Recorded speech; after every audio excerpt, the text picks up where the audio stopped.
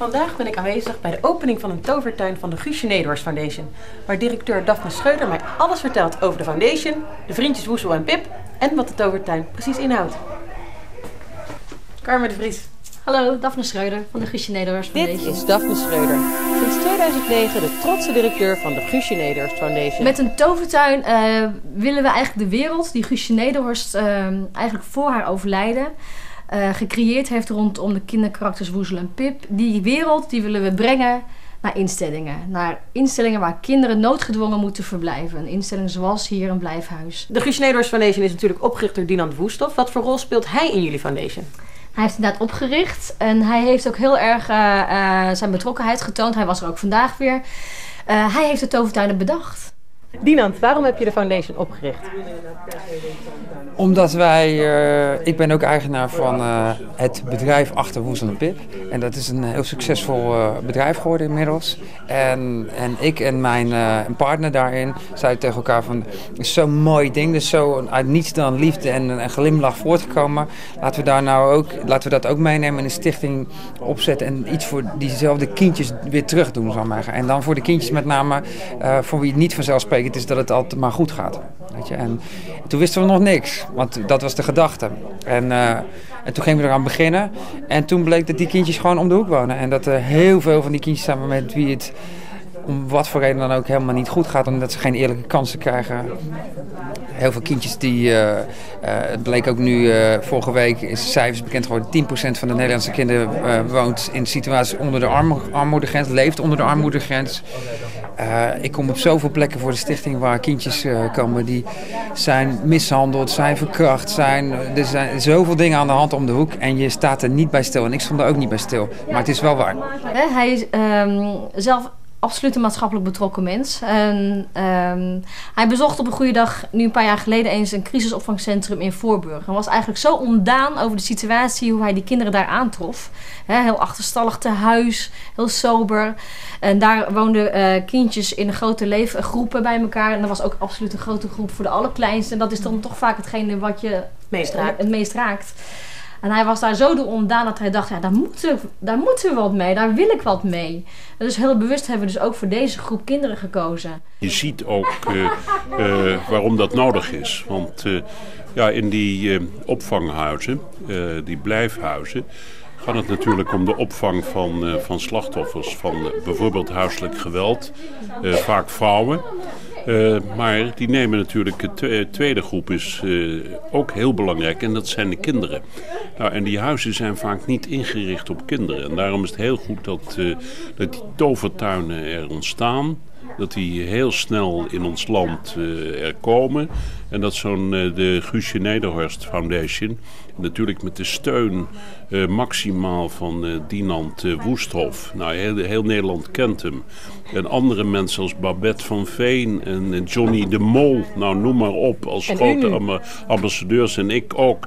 Wij moeten gewoon het steunen. En als je weet waar het om gaat, is het ook vanzelfsprekend dat e- heel Nederland, dat iedereen, bedrijven, eh, instanties, eh, particulieren, gewoon dat initiatief ondersteunen. En gewoon die woezel en eh, Pip, gewoon, dat zijn allemaal prachtige hondjes, boekjes, knuffels. Vond u ze leuk? Hartstikke leuk. Koop dat, dames en heren. En dan weet je dat het goed terechtkomt. Daar gaat het om. U bent de perfecte ambassadeur eigenlijk. Ja, zeker, dat ben ik natuurlijk. Dus bij de volgende tovertuin bent u ook weer aanwezig. Nou, dat weet ik, eh, weet ik niet. Eh, Op een gegeven moment is het ook goed dat weer een ander eh, dat, dat doet. En datzelfde verhaal ook een keer vertelt. Eh, en dat zal niet moeilijk zijn. Want eh, als je hier binnenkomt, voel je al dat dit goed zit. En dat het hartstikke noodzakelijk is. Ja, we hebben de tovertuin genoemd. Dat is eh, duidelijk wat jullie er allemaal voor moois doen. Doen jullie daarnaast nog, nog meer dingen?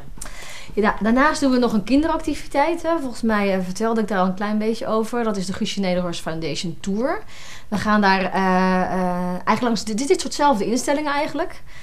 Hè, dus weer blijfhuizen, crisiscentra, asielzoekerscentra. Eh, daar komen we langs eh, met onze vrienden Woezel en Pip.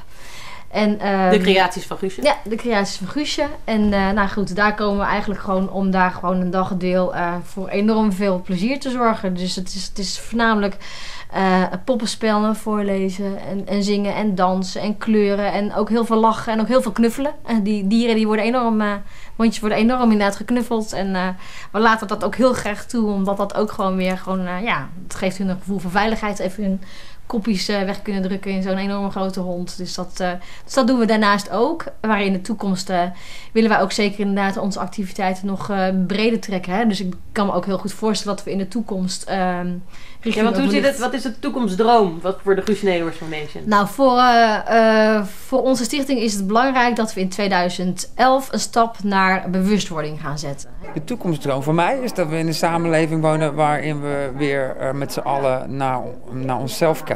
En niet alleen maar kijken naar wat ik, ik, ik moet doen om het nog beter te krijgen. eh, maar dat we allemaal snappen dat ik, ik, ik uiteindelijk alleen maar gebaat is bij met z'n allen zorgen dat we er iets beters van maken. Dat zou een hele kerstboodschap zijn. Laatste vraag. Waar ben jij nou het meest trots op van het afgelopen jaar?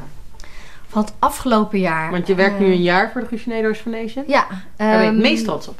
Nou, eigenlijk ben ik het meest trots op dat elke keer bij de opening dat ik zie ehm, wat voor beleving er op de kopjes van de kinderen zit. Want wij kunnen alles nog enorm bedenken. Hè? Van, oh, dit moet zo en eh, laten we dit niet vergeten en dat niet vergeten. En, eh, en laten we... En natuurlijk hebben we de tovertuin geoptimaliseerd en de tour wordt ook steeds beter. Maar het gaat me puur om dat als ik zie wat wij doen, dat hoeveel dat betekent voor de kinderen. Als ik hun echt die smile van oor tot oor ziet gaan, dan is mijn dag goed.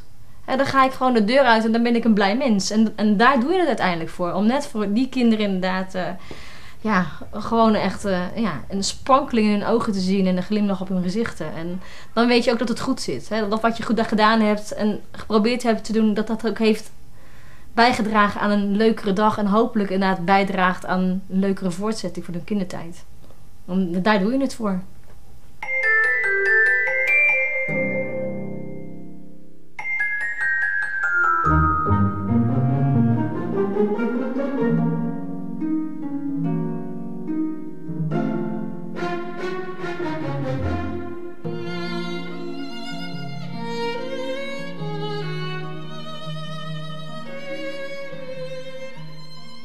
Dit was goed belicht vanuit de Tovertuin in Rotterdam, waar vast heel veel kinderen van zullen gaan genieten. Wil je meer informatie over dit project? Kijk dan op de website goedbelicht.tv.